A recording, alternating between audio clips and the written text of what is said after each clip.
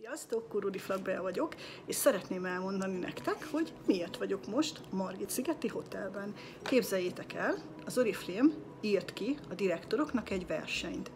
És ezt a versenyt Magyarországról öten teljesítettük, és a mi ajándékunk, képzeljétek el, ez az egy éjszakás, kettő napos Margit szigeti kaland, és ez az első rész, hogy bejelentkeztem itt most a szállodai szobámban, és ez az első olyan alkalom, ha édesanyja vagy, akkor ezt meg fogod érteni, ez az első olyan alkalom, hogy én nem leszek észtek a pancsikával, a kislányommal, a három éves kislányommal.